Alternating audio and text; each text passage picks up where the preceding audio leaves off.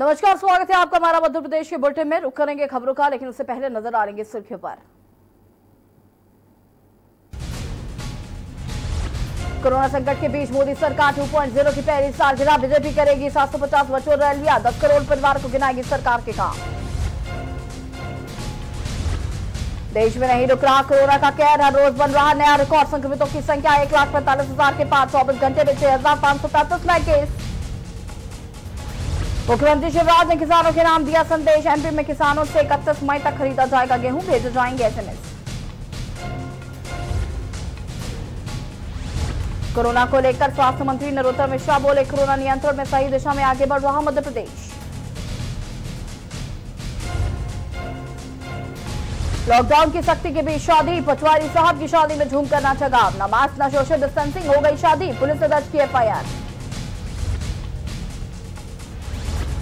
भिंड में युवक को गोली लगने से बचा हड़कम दोस्त कट्टे का कर रहे थे शो ऑफ़ मामले की पड़ताल में जुटी पुलिस। आप देख रहे हैं के न्यूज़ खबरों का सारथी। बढ़ेंगे खबरों में लेकिन उससे पहले आपको भोपाल से बड़ी खबर बता दें जहाँ पर कल से खुल सकते हैं बाज़ार। महापौर व्यापारियों और कलेक्टर के बीच बैठक हुई और बैठक में बाज़ार खोलने को लेकर चर्चा हुई। चर्चा के बाद बाज़ार खोलने का लिया जा सकता है फैसला। बड़ी खबर आपको बता रहे हैं, भोपाल से जहाँ पर कल खुल सकते हैं बाज़ार। चर्चा के बाद बाज़ार करने का लिया जा सक, बाज़ार खोलने का लिया जा सकता है फैसला। बड़ी खबर आपको बता रहे हैं, भोपाल से जहाँ पर कल से खुल सकते हैं बाज़ार। महापौर, व्यापारियों और कलेक्टर के बीच बैठक होगी और बैठक में बाज़ार खोलने को लेकर चर्चा की गई। चर्चा के बाद बाज़ार खोलने का लिया जा सकता है फैसला। बड़ी खबर आपको भोपाल से बता दें जहाँ पर कल से खुल सकते हैं बाज़ार।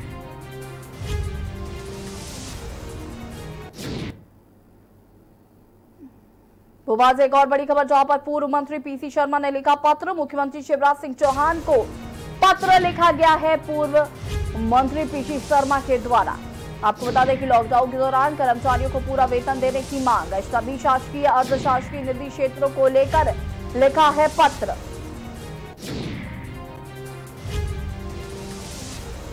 बड़ी खबर भोपाल से, जहाँ पर पूर्व मंत्री पीसी शर्मा ने लिखा, मुख्यमंत्री शिवराज सिंह चौहान को पत्र। लॉकडाउन के दौरान कर्मचारियों को पूरा वेतन देने की मांग की है इस पत्र में। सभी शासकीय, अर्धशासकीय निजी क्षेत्रों को लेकर लिखा है मुख्यमंत्री शिवराज सिंह चौहान को पत्र।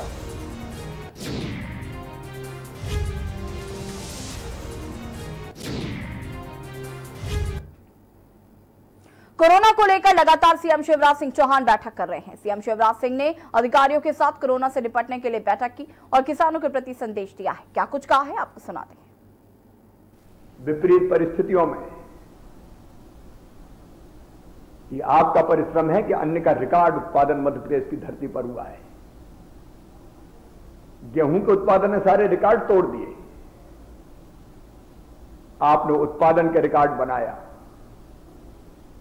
तो हमने भी गेहूँ खरीदी का रिकॉर्ड बनाया। अभी दो महीने पहले तो मैं आया हूँ। गेहूँ खरीदी की भी कोई व्यवस्था नहीं थी। आती व्यवस्थाएँ बनाई, बारदानों का इंतज़ाम किया। इंतज़ाम किया था 16 लाख मीट्रिक टन का। लेकिन गेहूँ की बंपर आवक लगातार बढ़ती चली गई। हम भी बारदानों का इंतज़ाम करते चले गए, खरीदी केंद्र हमने बढ़ाए। और आज मुझे बताते हुए खुशी है कि कोरोना के कारण समय पर खरीदी शुरू नहीं हुई थी। 16 अप्रैल को हमने विपरीत परिस्थितियों में गेहूँ की खरीदी शुरू की थी और 25 मई तक 15 लाख तीन हज़ार किसानों से कुल मिलाकर 114 लाख सत्तर हज़ार मीट्रिक टन, यानी 11 करोड़ सैंतालीस लाख क्विंटल गेहूँ खरीद चुके हैं। आप स्वयं सोचिए व्यवस्था बनाने में हमें कितनी मेहनत करनी पड़ी है। लेकिन आगे भी चिंतित होने की ज़रूरत नहीं है। कोरोना के कारण, कुछ और परेशानियों के कारण, बाहर जाने भी डिले हुए हैं क्योंकि व्यवस्था तो 16 लाख मीट्रिक टन की थी। लेकिन हम हर तरफ़ से मंगा रहे हैं। इसलिए जहाँ किसानों का गेहूँ नहीं खरीदा गया है, वो चिंता ना करें। उन जिलों में जहाँ गेहूँ की खरीदी पूरी नहीं हो पाई 31 मई तक गेहूँ उपार्जित किया जाएगा। लेकिन एक निवेदन आपसे अव्यवस्था ना हो इसलिए जब आपको एसएमएस किया जाए, तभी खरीदी केंद्र पर आए, दो गज की दूरी बनाएँ। मुँह पर फेस कवर लगाएँ और सुरक्षित अपना गेहूँ खरीद केंद्र पर बेचें। परेशानी से बचिए, हर संभव प्रयास हम कर रहे हैं, कोई कसर नहीं छोड़ेंगे। आपका गेहूँ खरीदेंगे। और आपने देखा कि दो महीने के बीच में ही हमने ज़ीरो परसेंट ब्याज पर कर्जा फिर देने का फैसला किया। और ज़ीरो परसेंट ब्याज पर भी कर्ज चुकाने की तिथि बढ़ा के इकतीस मई कर दी। 2990 करोड़ रुपया 15 लाख से ज़्यादा किसानों की फ़सल बीमा योजना के अंतर्गत खाते में डाले। प्रधानमंत्री जी का अभिनंदन। तेरह करोड़ रुपया लगभग अड़सठ लाख किसानों के खाते में प्रधानमंत्री किसान सम्मान निधि के डाले गए। कृषि कार्यों के लिए जले हुए ट्रांसफार्मर, बिना अतिरिक्त शुल्क के बदलने का फैसला किया गया। एक ने अनेकों फैसले किए, आगे भी लगातार करते रहेंगे। ये आपकी सरकार है। बहुत बहुत धन्यवाद। लॉकडाउन में किसी भी शादी समारोह में 50 से ज़्यादा लोगों के शामिल होने पर रोक है। मास्क पहनना और सोशल डिस्टेंसिंग का पालन ज़रूरी है। लेकिन पटवारी साहब की बारात में तो इससे कहीं ज़्यादा गुना लोग शामिल हो गए थे। देखिए पूरी रिपोर्ट को। लॉकडाउन की सख्ती के बीच शादी। पटवारी साहब की शादी में झूम कर नाचा न मास्क, न सोशल डिस्टेंस और हो गई शादी। बारात में जमकर हुआ नाच गाना। बारातियों की गड़बड़ी पर दूल्हे के पिताजी पर एफआईआर। पुलिस में आए दूल्हे के पिताजी एफआईआर दर्ज।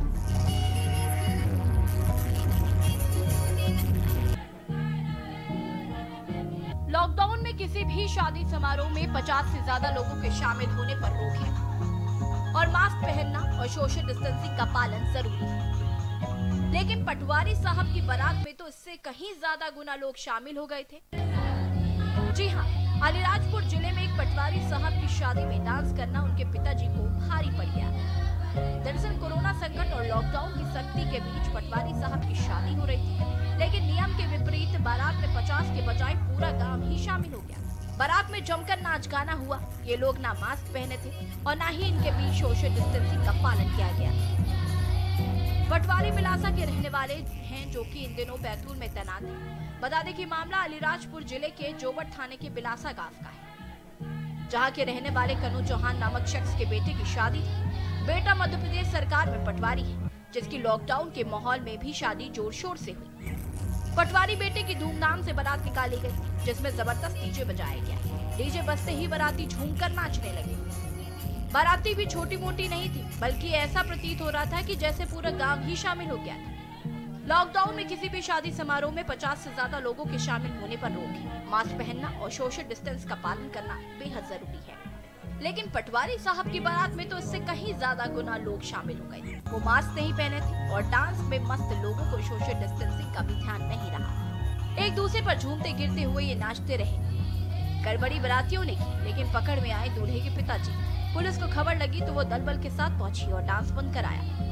पटवारी के पिता के खिलाफ धारा एक आईपीसी उल्लंघन का मामला दर्ज करा लिया गया। बाकी को वहाँ से चलता किया गया। पटवारी बिलासा के रहने वाले हैं, लेकिन इन दिनों बैतूल में पोस्टिंग है। एसडीओपी धीरज बब्बर ने बताया कि शादी समारोह में काफ़ी लोग एकत्र हुए हैं, जो स्पष्टता जो है नियम का उल्लंघन था और धारा एक सौ अट्ठासी के तहत इनका, इसका वायलेशन किया था इन लोगों द्वारा।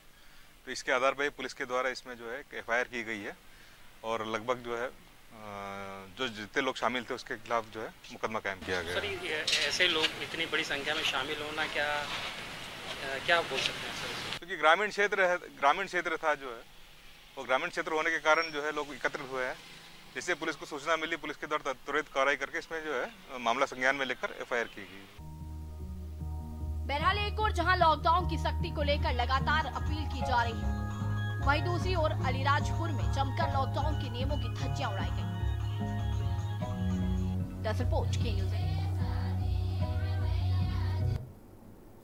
अभी जब देश अपनी पूरी ताकत झोंककर कोरोना वायरस से उपजी महामारी का मुकाबला करने में लगा है, तब टिड्डी दलों के हमलों ने कुछ इलाकों की परेशानियों को कई गुना बढ़ा दिया है।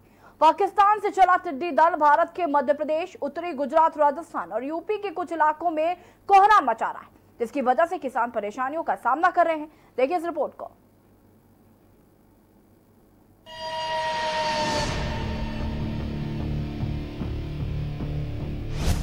कोरोना काल में टिड्डियों का आतंक। नई आफत बनकर आया टिड्डियों का ज्ञान किसान की फ़सलों का कर रहे अंत। टिड्डियों के मूवमेंट पर प्रशासन अलर्ट।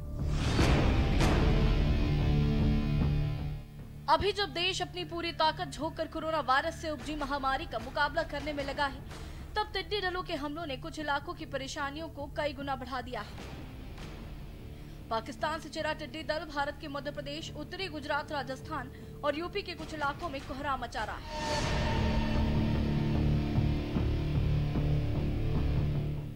टिड्डियों के आतंक से किसान परेशान हैं। झांसी ज़िले के बाहरी इलाकों में टिड्डियों के झुंड से के अचानक मूवमेंट ने जिला प्रशासन को अलर्ट पर ला दिया है। झांसी जिला प्रशासन ने टिड्डियों के झुंड द्वारा अचानक मूवमेंट करने के बाद फायर ब्रिगेड को रसायनों के साथ स्टैंड पर रहने के लिए निर्देशित किया गया इस संबंध में एक आपातकालीन बैठक की अध्यक्षता करने वाले जिला मजिस्ट्रेट आंध्रा वामसी ने कहा कि आम जनता के साथ साथ ग्रामीणों से कहा गया है कि वे दल के आने के बारे में नियंत्रण कक्ष को सूचित करें। टिड्डे उन स्थानों पर जाएँगे जहाँ हरी घास या हरियाली है। इससे ऐसी जगहों पर उनके मूवमेंट के बारे में जानकारी साझा की जानी चाहिए। टिड्डी दल का मूवमेंट जो हम देख रहे थे झांसी जनपद के अंदर, ये वही टिड्डी दल है या लोकस्ट स्वाम है जो ग्रेगेरियस है।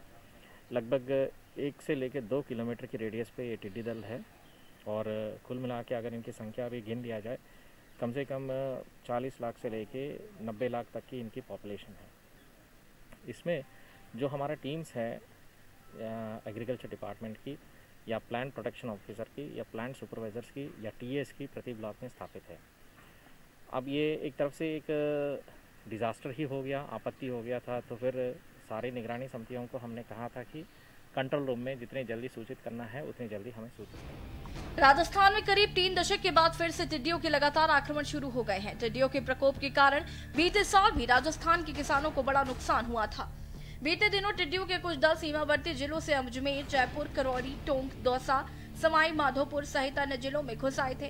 क्षेत्र में पहुँचे टिड्डी के दल को देखकर ग्रामीणों के होश उड़ गए। क्षेत्र में उड़ रही टिड्डी के दल ने दो दिन से गाँव के आतंक मचा रखा है। लाखों की संख्या में आया टिड्डी दल गाँव के कई पेड़ों को उजाड़ चुका है। आसमान में लाखों की संख्या में उड़ रही टिड्डी कौतूहल का विषय है। इसे देखकर ग्रामीण दहशत में है। खेत की सब्ज़ी है, मूंग की मूंग की खेत है। और साथ साथ कुछ बड़े बड़े पेड़ है जिसमें हरियाली के पत्ते हैं। उस पर ये बसने की संभावना बहुत ज़्यादा है। तो ये सारी चीज़ों का अध्ययन करने के बाद हमने ये डिसीज़न लिया था कि इन लोग, इन टिड्डी दल की मूवमेंट है, रात में बिल्कुल ज़ीरो हो जाती है। तो रात्रि में विश्राम करती है। तो हमारे निगरानी समिति के माध्यम से सतर्क रहना और कहाँ पे ये बसते हैं, उस पर मॉनिटरिंग करना नंबर वन और दूसरी बात, वहाँ पे उन सारे ग्राम पंचायत प्रधान के माध्यम से हो या हमारे एग्रीकल्चर डिपार्टमेंट के माध्यम से हो, या भारत सरकार से जो सात आठ टीम्स जो आई है, उनके माध्यम से भी हो केमिकल स्प्रेइंग करना उन सारे पेड़ों पे और उसको मारना, एक तो ये तय कर दिया था। कोरोना संकट के बीच कई राज्यों में टिड्डों का आतंक खत्म होने का नाम नहीं ले रहा है। फ़सलों को नुकसान पहुँचाने वाले टिड्डी दल का प्रकोप राजस्थान में होते हुए महाराष्ट्र और मध्य प्रदेश तक पहुँच गया। इसलिए मध्य प्रदेश से सटे छत्तीसगढ़ में अलर्ट जारी कर दिया गया है। अधिकारियों की माने तो इन टिड्डियों ने मध्य प्रदेश राज्य में दस्तक दे दी है और 27 साल में प्रदेश में टिड्डियों का ये सबसे बड़ा हमला बताया जा रहा है, जिसकी मानसून तक जारी रहने की आशंका जताई जा रही है। जानकारों की माने तो अगर समय रहते टिड्डी दल पर काबू नहीं पाया गया तो राज्य में 8000 करोड़ की मूंग फ़सल का नुकसान हो सकता है। इसके बाद कपास और मिर्ची की फ़सल भी नष्ट कर सकते हैं। वहीं किसानों को टिड्डी दल को आगे उड़ाने के लिए प्रचलित उपायों को अपनाने की सलाह दी गई है। साथ ही शाम सात से नौ के बीच निगरानी रखने को कहा गया है। बताया जा रहा है कि सात से नौ टिड्डी दल विश्राम करता है और इसी समय उन पर रसायन छिड़का जा सकता है। Report K news India.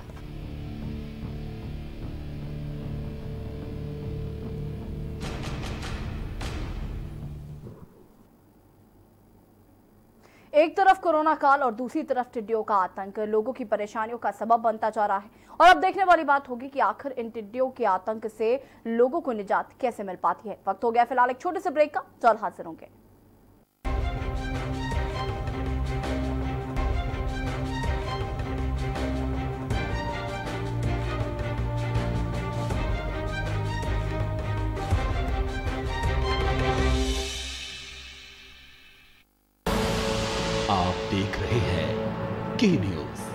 खबरों का सारथी। Mount Litera Zee school now number one in academics number one in sports best teachers best result smart classroom best transport facility world class infrastructure के साथ mount Litera Zee school now corona संकट के पल पल की update. आप तक पहुँचा रहे हैं सौ कोरोना योद्धा। भरत सेठी सारिका गुप्ता। अभिनव माथुर मधुर मोहन दुबे। सनी कुमार। सोनू खान दीप गुप्ता। अनिल मीना। वेदेंद्र प्रताप शर्मा। कुलदीप बोस थी। धर्मेंद्र सिंह चौहान। जिंद्र चौहान। रजनीश त्रिपाठी सबसे बड़ी महामारी सबसे बड़ी कवरेज आप देख रहे हैं के न्यूज़ खबरों का सारथी।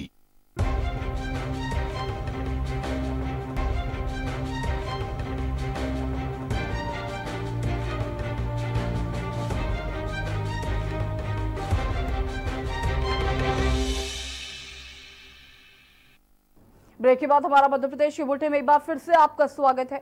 और भोपाल की लाइफलाइन कहे जाने वाला बड़ा तालाब, अपर लेक न सिर्फ़ शहर ही आधी से ज़्यादा आबादी की प्यास बुझाता है, बल्कि ये हज़ारों लोगों के परिवार के लिए रोजी रोटी भी चलाता है।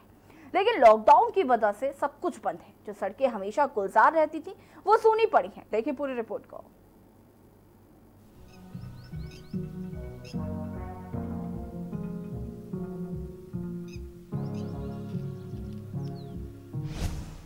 वीरान झील परेशान कश्ती वाला।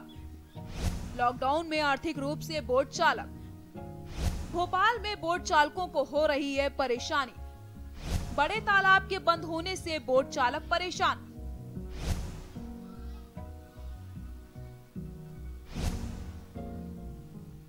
भोपाल की लाइफलाइन कहा जाने वाला बड़ा तालाब न सिर्फ़ शहर ही आधी से ज़्यादा आबादी की प्यास बुझाता है। बल्कि ये हज़ारों लोगों के परिवार के लिए रोजी रोटी भी चलाता है। लेकिन लॉकडाउन की वजह से सब कुछ बंद हो गया है। जो सड़कें हमेशा गुलजार रहती थी, वो सूनी पड़ी हैं। जिन दुकानों पर भीड़ उमड़ा करती थी, वहाँ ताला लगा हुआ है। जो कश्तियाँ बड़े तालाब की लहरों पर इतराती हुई चलती थी, वो अब बंधी हुई हैं। बंधी हुई कश्तियों को किनारे से निहारे ये अजय कीर। अजय अक्सर अपने भाई के साथ बड़ी झील किनारे आकर बैठ जाते हैं। और बैठकर अपनी कश्ती को निहारते हैं और लॉकडाउन के खुलने का इंतज़ार करते हैं। बोट चलाता हूँ। मौका विहार कराते हैं हम लोग। बस खुलने का इंतज़ार कर रहे हैं सर, हम लोग परेशान हो चुके हैं। क्या करें, कुछ नहीं कर जितना था पता होगा रोज गड्ढा खोदते हैं, रोज पानी पीते हैं सर। और हमारे साथ दस बारह लोग और जुड़े हुए हैं। दो सौ ढाई सौ लोगों का परिवार है जो यहाँ से कमाता है अपना रोज़गार चला रहा था। ये लॉकडाउन के चक्कर में सारे घर बैठ गए अपने अपने गर्मी के दो महीने ही रहते हैं हमारे, जिससे हम साल भर का राशन भर लेते थे। जो चार महीने हमारे बारिश में ख़राब हो जाते हैं ठंड के कारण पब्लिक नहीं आ पाती है। गर्मी में जो छुट्टी में थोड़े बहुत पैसे जोड़ते थे तो उससे सब घरों में राशन भरा था साल भर अपना निकाल लेते थे। अब लॉकडाउन के चक्कर में सब हालत ख़राब है। अब सरकार से थोड़ी बहुत उम्मीद करने कुछ मिल जाए ठीक है तो बीमारी है सर। इस पर पूरी दुनिया ही परेशान है इससे तो हम कहाँ अब जल्दी पल्दी बीमारी खत्म हो खुल जाए थोड़ा सा सबको राहत मिले। अजय के पास चार नाव हैं, जिसमें छह से आठ लोग काम करते हैं। अजय बताते हैं कि जब से लॉकडाउन लगा हुआ है, तब से हमारी आर्थिक व्यवस्था पूरी तरीके से खराब हो चुकी है। घर में खाने को भी नहीं है। हमने तो कर लिया अपना जैसे तैसे गुजारा, लेकिन जो हमारे यहाँ लड़के काम करते थे, वह बहुत परेशान हैं। उनकी कोई आर्थिक व्यवस्था ठीक नहीं है। एक तो हमारे समाज में पढ़े लिखे कम होते हैं। हम केवट समाज के लोग हैं तो हमें इस चीज़ का लाभ नहीं मिल पाता। इंतज़ार है कि किसी भी तरह लॉकडाउन खुले। दीपक का कहना है कि लॉकडाउन खुलेगा खुल जाए तो अच्छा ही है। हम भी उस चीज़ का पालन करेंगे। सोशल डिस्टेंसिंग बनाएँगे। बोट में आठ लोग बैठाते हैं। वोट में हम दो लोग बैठाएँगे। बस किसी तरह खुल जाए।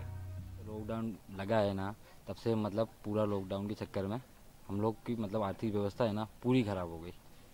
मतलब घर में खाने को भी नहीं है राशन। हम तो ठीक है, हमारे पास बोटें रहती थी तो हम तो ठीक है कर लिया था एक दो महीने, एक महीने चला। जो हमारे इधर लड़के काम करते हैं वो बहुत परेशान है। उनकी कोई आर्थिक व्यवस्था नहीं है। क्योंकि एक तो हमारी समाज में क्या पढ़े लिखे कम रहते हैं। हम केवट समाज से लोग हैं। तो हमें इस चीज़ का मतलब लाभ नहीं मिल पाता। अभी मोदी जी ने जो जो योजना बनाई है, अभी जो नई योजना मच, केवट समाज के लिए, नावों का बीमा और हमारी मछली पालन के लिए, उस चीज़ के लिए, उस सब का हमें लाभ ही नहीं मिलता। हम लोग बस यही बोट में रहते हैं, आते हैं। जिस दिन चलती है चलती है, नहीं तो कोई दिक्कत ही नहीं होती, बस घर चले जाते हैं। भोपाल बड़ी झील के किनारे छोटा बड़ा कारोबार करने वाले शायद सभी लोगों की तमन्ना शायद यही होगी। जल्दी से लेक व्यू में रौनक लौट आए और फिर से वीरान सड़कें गुलजार हो जाएँ। यहाँ फिर से टूरिस्ट आए और इनका कारोबार चले। से ये अपने परिवार की परवरिश कर सके। Desk report K news India.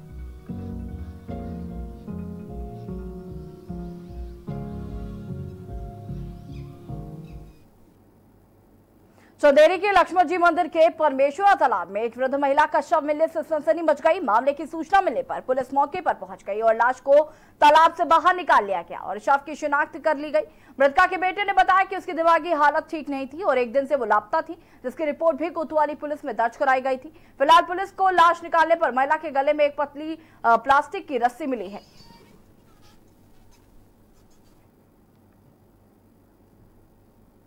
कुछ दिनों पहले डबरा के व्यापारियों ने मध्य प्रदेश के गृह मंत्री डॉक्टर नरोत्तम मिश्रा से मुलाकात कर डबरा बाज़ार खोलने के लिए मुलाकात की थी, जिसे लेकर गृह मंत्री ने व्यापारियों को बाज़ार खोलने का आश्वासन दिया था, जिसके बाद पूरा बाज़ार खोल दिया गया, जिससे कि बाज़ार में लोगों की भीड़ देखने को मिली। यहाँ तक कि जाम की स्थिति भी बन गई। जिसकी सूचना मिलने पर प्रशासन मौके पर पहुँचा और ओवरब्रिज के नीचे खुली सभी दुकानों को तुरंत बंद करवाते हुए चेतावनी दी गई कि अब किसी भी दुकान, किसी की भी दुकान खुली मिलेगी तो चालान कार्रवाई की जाएगी।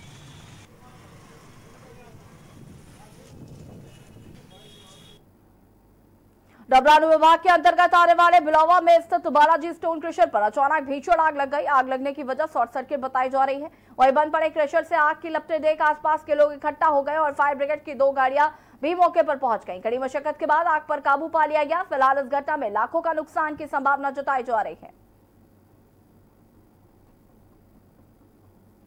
फुल ये लाइट बड़ा लाल लाल चुके लाइट बड़ा अंदर करना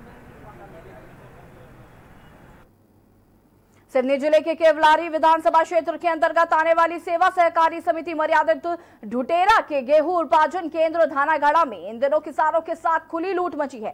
जिसमें किसानों से गेहूँ तुलाई और एंट्री छुड़ाने वाले पर वसूली करने का एक वीडियो सोशल मीडिया में वायरल हो रहा है। जिसमें ऑपरेटर एक हज़ार रुपए की खुली मांग करते हुए देखा जा रहा है, जिस पर किसान पाँच सौ रुपए भी दे रहा है। बताया जा रहा है कि ये वीडियो उसी किसान ने बनाया है। वीडियो ने साफ़ तौर पर अधिकारियों की लापरवाही की पोल खुल रही है और आपको बता दें कि सोशल मीडिया में भी वायरल हो रहा है। इस वीडियो की के न्यूज़ पुष्टि नहीं करता है।